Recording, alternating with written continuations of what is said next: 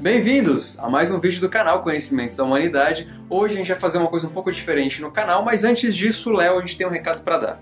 É, gente, agora no sábado, agora dia 17 de setembro de 2016, a gente foi convidado de novo para conversar lá com o público no Up ABC, que é um evento de anime, de mangá, de cosplay. De esse ano vai ter um tema lá também de vila medieval, né, com combates medievais.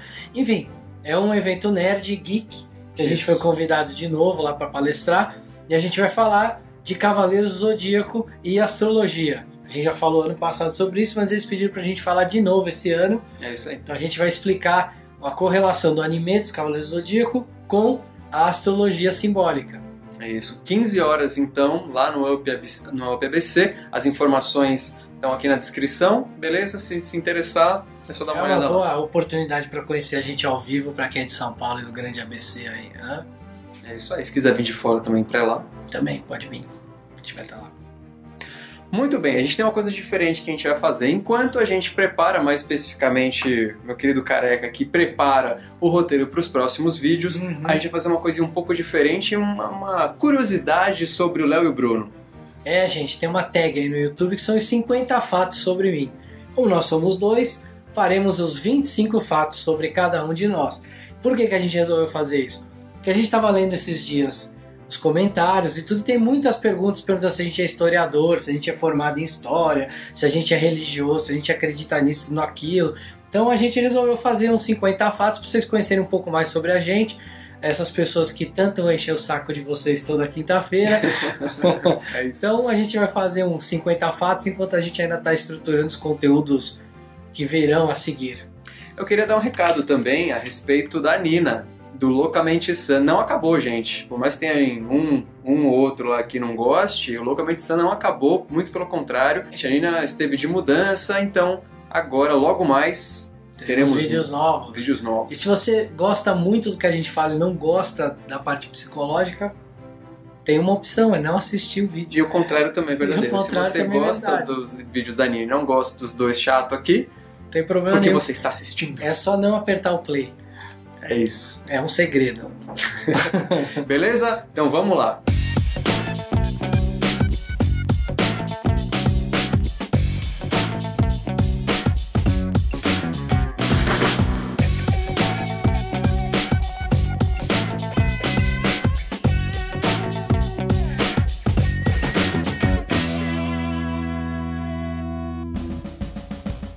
Eu sou formado em psicologia e conheci a minha esposa na faculdade. Somos dois psicólogos em casa. E não, a gente não fica conversando sobre, ah, você disse isso porque é sua mãe. Não, isso não, não existe. E, apesar de ser formado em psicologia, eu não sou muito fã de Freud. Eu me formei em publicidade e marketing, não em história, mas sempre estudei história, né, como a gente já explicou algumas vezes. Mas hoje eu trabalho com educação à distância. Meu apelido, como vocês já viram, é Léo, mas o meu nome de verdade é Leandro. Eu tenho esse apelido e esse nome por causa do meu signo, que é o signo de Leão. O meu apelido é Fino. Eu nasci em Santos, São Paulo, e eu era vizinho do Pelé. Isso é realmente sensacional. Sensacional, eu era vizinho dele. Era bem legal, ele tinha uma casa de três andares, tinha elevador. Você chegou a entrar lá dentro? Não, dava pra ver de fora, assim. Ele tinha um fora? Fuscão, que ele andava só de Fusca. Olha aí. Bem legal. Eu morei em Jundiaí e fui vizinho do Cauê Moura, mesmo, de verdade, no mesmo condomínio que ele. Pra quem não sabe quem é o Cauê Moura, é um youtuber. Pô, tá, pra quem não sabe quem é Cauê Moura, precisa E pra quem não sabe quem é o Pelé, ele é um.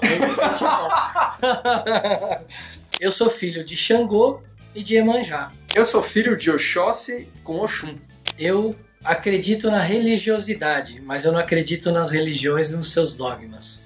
Apesar de não ser religioso, eu tenho uma preferência pelas filosofias e religiões orientais. Apesar de ter estudado muito sobre mitologia, simbologia, história, ocultismo, o meu livro preferido é O Senhor dos Anéis. Sim! Todo ano eu leio o livro Bhagavad Gita, mas já tem mais de um ano que eu não leio. eu fui um dos criadores do simpósio de Hermetismo e Ciências Ocultas, há cinco anos. Eu sou também um dos fundadores do simpósio e hoje eu sou o coordenador do simpósio de Hermetismo e Ciências Ocultas que é organizado pela ESG.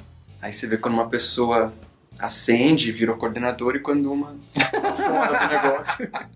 Bem, eu sou completamente apaixonado por música. Eu tenho milhões de músicas, milhões de CDs. Começou com meu pai, que também tem uma Você coleção. tem milhões de CDs em casa? Tenho. Começou com meu pai, que tinha um monte. Meu pai tinha uma coleção de cassete invejável, depois migrou para CD. Então, desde muito pequeno eu ouço música. Meus dois irmãos também são viciados em música. Gente adora música, eu ouço música o dia inteiro. Inclusive em festas, normalmente eu levo minhas músicas para discotecar quando dá. Ah, e aí eu tô aprendendo agora, começando depois de velho, começando agora a aprender a tocar guitarra. Eu já tentei e ainda tento tocar guitarra. Tenho até uma guitarrinha aqui, mas o máximo que sai é. É isso aqui. É mentira, ele sabe tocar algumas coisas.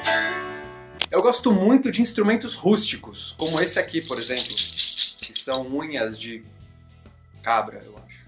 Ou qualquer coisa assim. Espero que não seja unha de mendigo. Não, acho que não. E tem um outro muito legal que eu gosto também, sem querer interromper o Léo, mas é esse troço aqui, que é muito legal.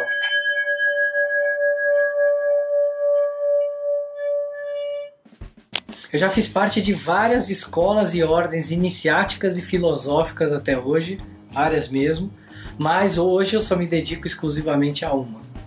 Monogâmico agora. É, virei monogâmico.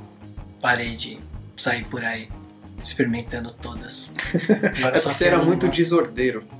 Ai, meu Deus. Eu já fui membro do grupo fechado de estudos do IPPB, do Wagner Borges, que tem um enfoque mais hindu, oriental e de projeção astral.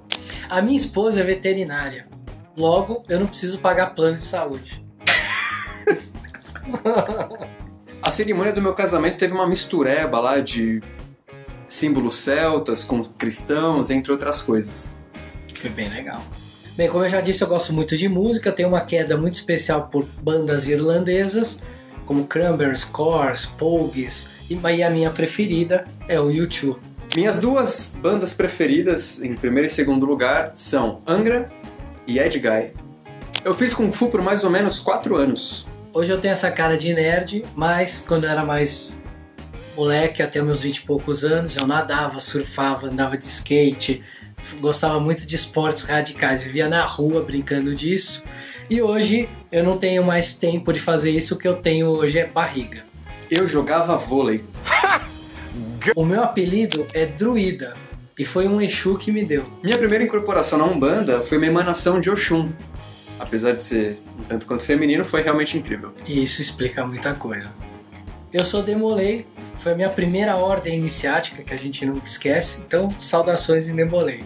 Eu jogo Clash of Clans, Pokémon GO e GTA, e não sou nerd. Não. Eu jogo RPG há 30 anos. E eu tenho pessoas que jogam comigo até hoje, desde essa época. E diz que só tem cara de nerd. Mas eu sou, é, essa é a minha parte bem nerd. Além de psicologia, eu me formei em acupuntura. Então se você quiser saber mais informações... Sobre acupuntura. Eu já fiz muita coisa na vida. Eu já fui recreador de hotel, produtor de banda, produtor de show. Eu já fui atendente de telemarketing, já fui presidente de IDA da faculdade. Eu já fui roteirista, ainda sou, né? Ainda no meu trabalho também faço um pouco disso pro canal. Já fiz dublagem, Essa dublagem, tem como linkar? É uma das... Eu vou dublagem. colocar mais, eu vou pedir pro Bruno linkar uma das dublagens que está no YouTube. Eu já fui cerimonialista, inclusive de casamento, e também já fui voluntário de ONG e sou hoje voluntário de ONG também. Mas a melhor é a, locu... é é a dublagem. A- a é dublagem é fantástica. sensacional. Eu aprendi a ler muito cedo e a minha mãe conta que às vezes estava mó silêncio na casa, ela ia ver achando que eu estava aprontando alguma coisa e eu estava deitado no chão, apoiado numa almofada, lendo uma coleção de enciclopédia. Não é à toa que ele tá no canal Conhecimentos da Humanidade. eu li há mais ou menos 10 anos o Livro dos Espíritos de Allan Kardec e eu não entendi nada. Eu fui até o fim, persisti, chegou no final eu não tinha ideia do que eu tinha lido. E também tentei ler o livro Dogma e Ritual de Alta Magia do Eliphas Levi e eu parei nos primeiros capítulos porque tem exceção de saco, eu não consegui ler. Eu comecei a ficar careca com 21 anos. Com 25 eu já tava bem careca. Na minha adolescência, eu tinha o cabelo abaixo do ombro. Ele continua tendo. Você vê ele sem camisa, você vai entender. eu e o Paulinho Mosca, aquele cantor, nós já fomos uma tribo indígena perto de Bauru. Como é? Conto que aí tomamos daime, pá, vimos bagulho. É sério? Sério. A adestradora do meu cachorro é a adestradora do cachorro da Kéfera e do Cid do Não Salvo. Só falta a gente ter o mesmo número de inscritos dele, porque a adestradora, A adestradora já ele é a já mesma. Só teve um lugar pra onde eu viajei fora do país. E foi pra Orlando, na Flórida, na Disney, lugar que eu voltaria todos os anos. Só existe uma coisa no universo que eu não consigo comer por causa do cheiro, que chama abacate. Quando eu tinha 14 anos, eu fiz catecismo. E aí, junto com um amigo meu, a gente tocava o terror no catecismo. E um dia eu cheguei em casa e o padre estava conversando com a minha mãe. Eu falei, certeza, agora o padre tá me dedando, falando que eu toco o terror lá. Quando ele foi embora, minha mãe me chamou e falou que o padre foi lá para tentar convencê-la a me colocar no seminário, porque ele achava que eu tinha vocação para ser padre.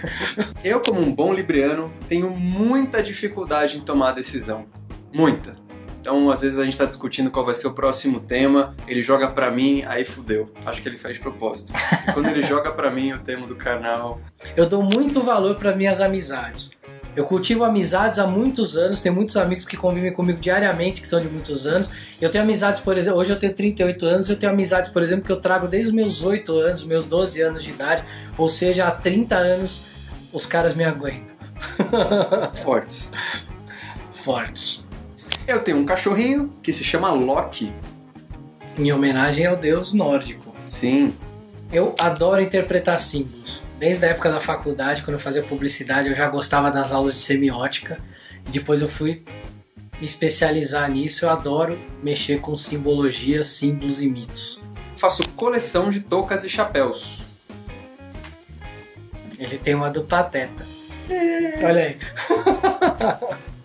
eu conheci o Bruno dentro de uma escola iniciática.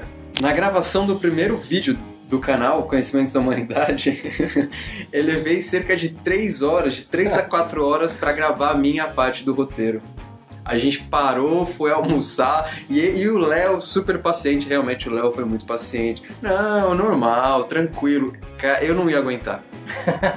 Eu não ia aguentar, foi foda. E nesse mesmo dia existia uma música que já tava ali no canal, que virou uma espécie de meme que a gente de vez em quando usa, que é Eu fumo maconha todo dia, mas eu não sou viciado. Bem, galera, ficamos por aqui então com um vídeo aí divertido. Espero que vocês se divirtam com o vídeo, que o nosso intuito com o vídeo foi esse. Não se esqueçam, sábado agora, dia 17, às 15 horas, a UP ABC, a gente vai colocar o site aí embaixo. É lá em Santo André, dentro da faculdade Anhanguera, da Universidade Anhanguera. E dia 1 de outubro, oficina sobre cinema e cabala, corra porque as vagas estão acabando. E dia 26 e 27 de novembro, Simpósio Brasileiro de Hermetismo, só tem mais 15 vagas, então corra para se inscrever se você quer ir no simpósio. A gente teve uma bombada de inscrição esse fim de semana, então se você está querendo ir, se programa para vir. Se tiver alguma dificuldade de localização, de lugar para ficar, manda e-mail que o pessoal está respondendo. E no site do simpósio, simpósiohermetismo.com.br, tem lá uma área de localização que tem várias opções de, de hostel, super barato para ficar, opção barata para comer. Não deixa de vir. E a gente vai ter no sábado à noite do simpósio, na hora que acabar as palestras, nós vamos todo mundo para um pub fazer um encontro lá com cerveja, suco para você que não bebe, porções, vamos juntar todo mundo, alguns palestrantes vão também. A gente fez isso ano passado, foi bem legal, vale a pena. Então quem puder vir também, quem é fã do canal e tiver afim de ver eu e o Bruno também lá, a gente vai estar por lá os dois dias, o dia inteiro. Venham! Aproveitando a curiosidade, eu não bebo. O Bruno não bebe, eu por outro lado bebo pelos dois. Valeu. Valeu! Todo ano eu leio o livro Bhagavad Gita, mas já tem mais de um ano que eu não leio. Você tá fazendo aquele. Eu fumo maconha todo dia, mas eu não sou viciado.